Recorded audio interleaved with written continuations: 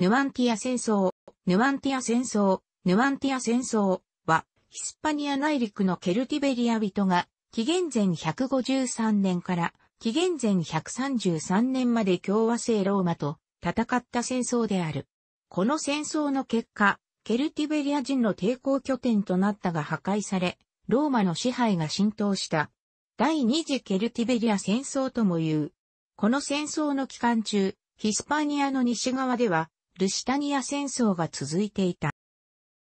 ケルティベリア人は、ローマによって城壁都市を築くことを禁止されていた。その頃に強大化したが、周辺の町を圧迫し、町に城壁を築き始めると、ローマは前の条約を理由に、これを制止しようとた。セゲダは禁止されたのは新規の町の建設であって、旧市の城壁ではないと答えた。ローマは兵力を派遣し、セゲダに効能と兵力教室を求めた。セゲダはこれに対しては現在そのような義務は負っていないと答えた。ローマは第一次ケルティベリア戦争の後に課した効能と兵力提供の義務を免除したが、それはローマに忠実である場合に限り、という正し書きがついていた。そのことを理由に、ローマはセゲラの攻撃に向かった。紀元前153年に、ローマはの指揮のもとに、約3万の兵力をヒスパニアに送った。セゲダの城壁はまだ完成していなかったため、セゲダ人は町を引き払って同じケルティベリア人である人のもとに逃げた。アレワキ人は同盟を承諾し、カルスを将軍に選んだ。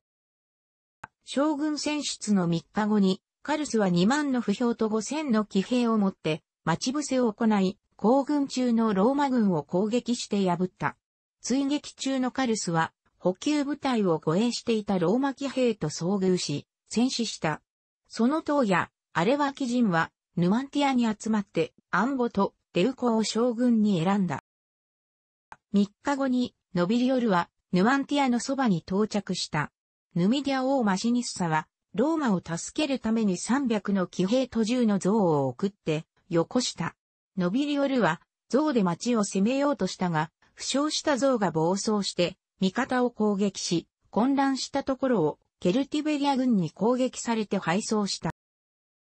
ノビリオルは、騎兵将校ビエシウスを派遣して、周辺の友好部族から騎兵を集めさせたが、ビエシウスも待ち伏せされて戦死した。相次ぐ敗報に、ローマの補給倉庫があったオキリスの町がケルティベリアについて反乱した。ノビリオルは行動継続を断念して投影したが、物資の不足で多数の犠牲を出した。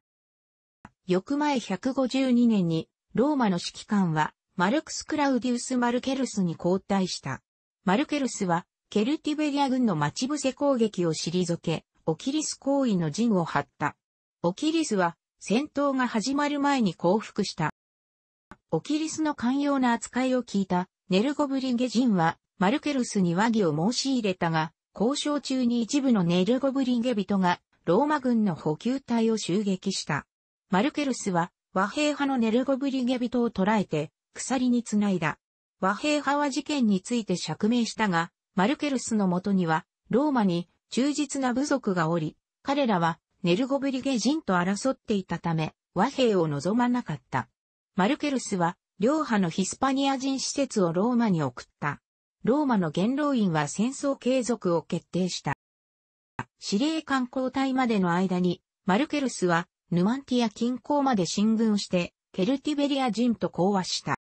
前151年に、執政官がヒスパニアに着任して、マルケルスに変わった。副官にスキピオア・エミリアヌスを伴ったルクルスは戦争の継続を望み、直前の戦争と無関係の人の土地に侵入した。ルクルスはに攻撃を仕掛け、講和を求めたカウカに対し、町の中に兵士を駐屯させることを要求して認められた。ルクルスは兵士をカウカに入れると和訳を破って市民のほとんどを殺し、町を略奪した。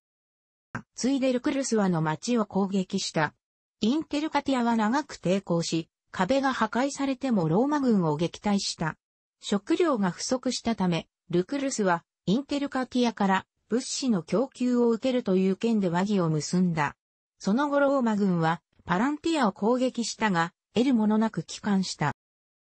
ケルティベリア人は、こうして独立を保持したが、ローマ領に侵入することはなかった。前143年に、クイントゥス・カエキリウス・メテルス・マケドニクスが、ローマ軍を率いて、突如、ケルティベリに侵入すると、アレワキ人はやむなく、ローマに従った。残る、有力都市は、ヌマンティアとテルマンティアであった。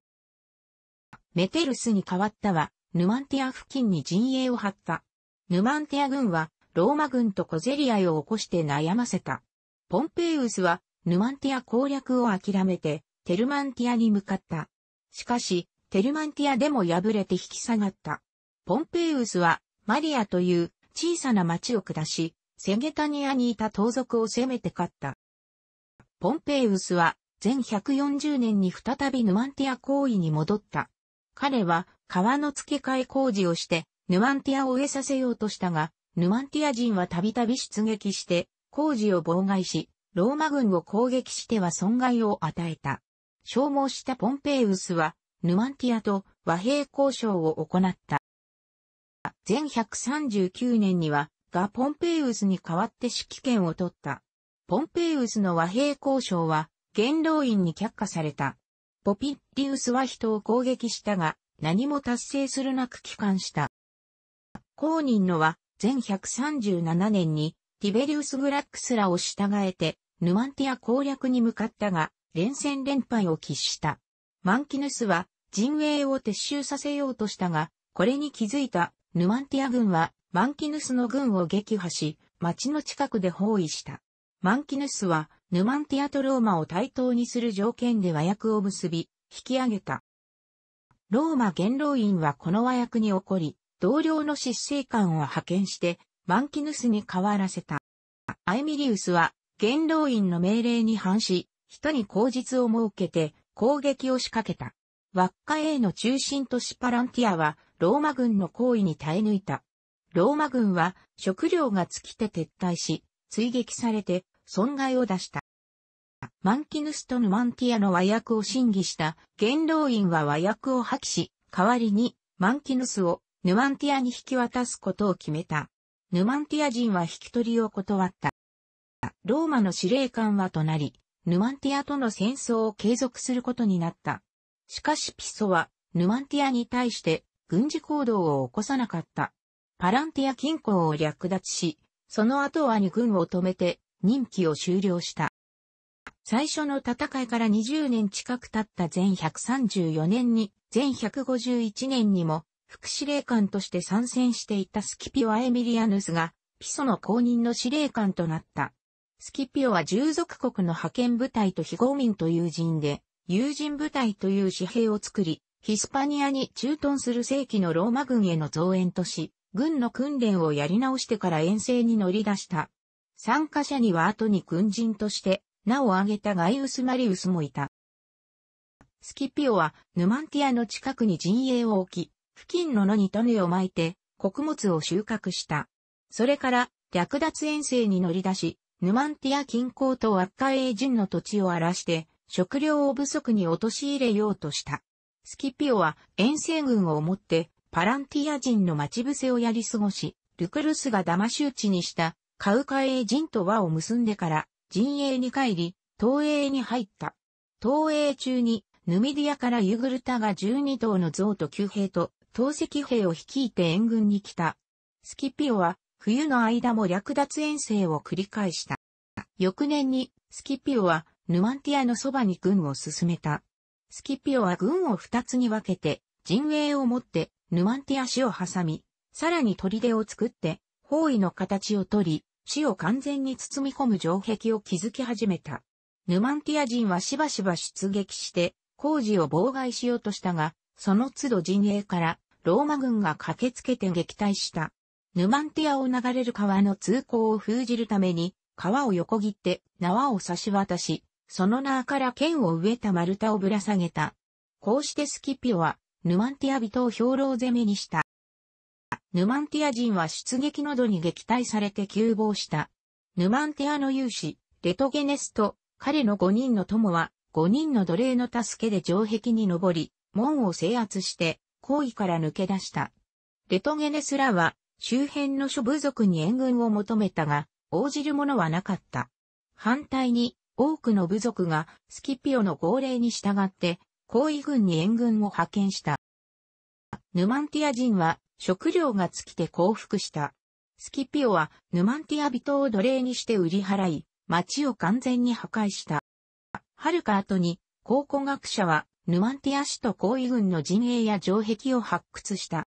ヌマンティア戦争は20年間もの間、ローマの侵攻とそれに対するケルティベリア人の交戦という形で続いた。アッピアノスの記述に見る限り、ケルティベリア人に対するローマの侵略と撃退いう展開が延々と繰り返されていた。